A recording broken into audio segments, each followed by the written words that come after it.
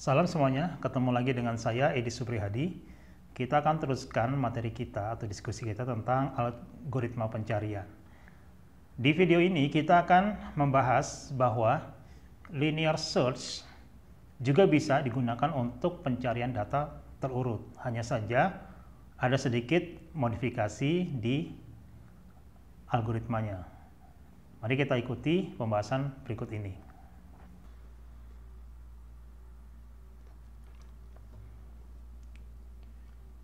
Oke, okay, kita sekarang akan membahas tentang sorted uh, algorithm atau terurut, ya, algoritma terurut. Beberapa video sebelumnya kita membahas uh, algoritma pencarian untuk data yang tidak terurut. Ini kita kembali lagi ke slide sebelumnya bahwa uh, algoritma pencarian itu ada dua yaitu tidak terurut dan terurut. Untuk terurut, berarti nanti kita akan bahas uh, tentang algoritma pengurutan.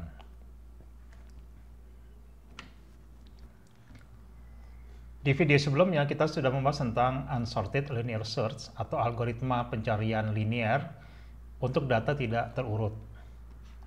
Sudah kita simpulkan juga bahwa metode ini adalah metode paling sederhana, paling mudah, dan paling lambat dalam pencarian.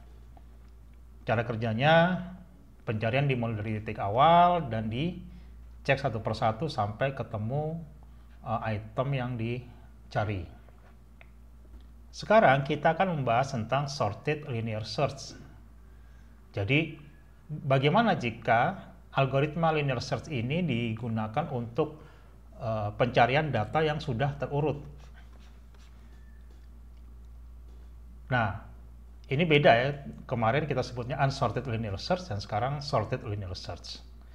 Sebenarnya metodenya sama dengan unsorted linear search yang kemarin kita sudah bahas. Namun ada perbaikan sedikit nih. Di mana jika item yang dicari lebih besar daripada elemen datanya, maka pencarian berhenti.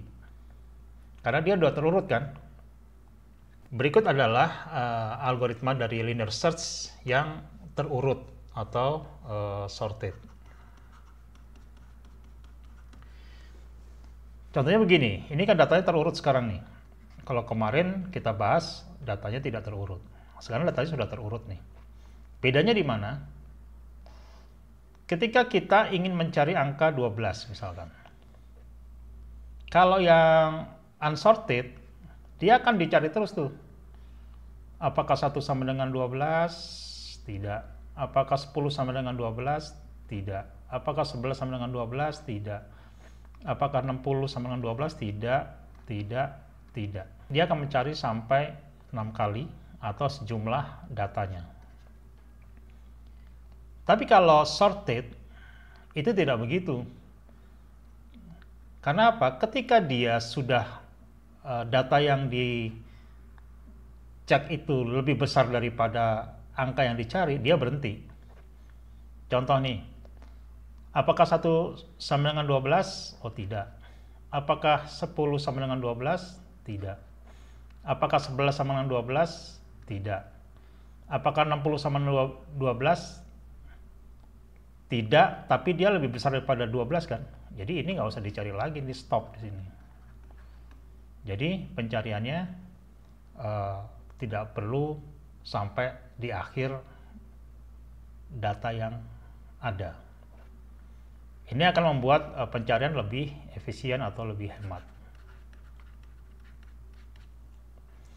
Nah, bedanya di sini saja. Jadi dengan merubah sedikit saja, efeknya akan jauh lebih baik.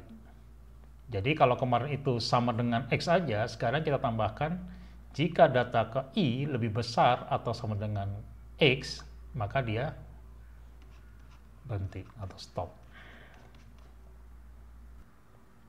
Oke, sekarang kita uh, coba menulis kodenya untuk algoritma sorted linear search. Ini saya menggunakan collapse uh, researchgoogle.com seperti biasanya. Dan ini adalah uh, script kita terakhir uh, untuk cari linear search. Nah, sekarang kita akan modifikasi ini untuk menjadi sorted linear search. Ini saya beri nama fungsinya menjadi sorted linear search. Dan ini datanya sudah terurut ya. Satu. Ini kalau kita jalankan, ya tidak ada error. Jadi untuk uh, sorted search di sini cukup di, diganti atau menjadi lebih besar atau sama dengan X. Jadi ketika dia uh, item yang dicari itu lebih besar daripada elemen yang sedang dicari, maka dia berhenti.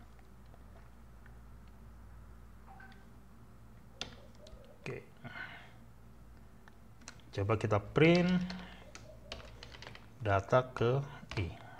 Nah, sekarang kita run. Oke, 60. Berarti posisi di 60 dia berhenti. Tidak dituliskan lagi kan? Karena 12 itu uh, lebih kecil daripada 6 atau 60 itu lebih besar dibanding item yang dicari. Dia stop. Ini akan menghemat uh, sumber daya untuk mencari sampai uh, akhir dari data tersebut. Jadi beginilah inti dari uh, sorted linear search, yaitu tinggal mengganti menjadi lebih besar atau sama dengan X. Berikut adalah uh, pseudocode-nya, dan ini adalah Python code-nya. Ini kita beri nama sorted linear search, untuk membedakan dengan yang uh, lalu dan bedanya hanya di sini. Ada tanda lebih besar di sini. Dengan begitu algoritma ini akan membantu pencarian untuk uh, data terurut menjadi lebih cepat. Nah sebelum uh, kita akhiri kita buat kesimpulan dulu. Yang pertama adalah sorted linear search adalah algoritma yang paling sederhana untuk pencarian data terurut. Kita juga bisa simpulkan bahwa data tidak terurut dan terurut membutuhkan algoritma yang berbeda. Yang ketiga di sini adalah untuk pencarian yang tercepat dibutuhkan data yang terurut. Secara logika kan seperti itu. Misalnya kita mencari uh, buku kita di rak yang berantakan dan sudah terurut akan jauh lebih mudah yang terurut. Oleh karena itu, sehingga nanti dibutuhkan juga algoritma yang bisa membantu kita untuk mengurutkan data. Berikut adalah challenge buat teman-teman, yaitu algoritma terurut jadi baru saja kita membahas tentang algoritma pencarian data yang terurut, yaitu sorted linear search.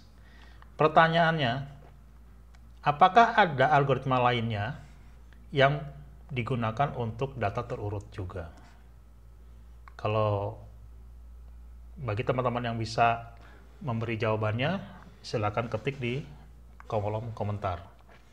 Terima kasih atas perhatiannya, sampai ketemu video berikutnya.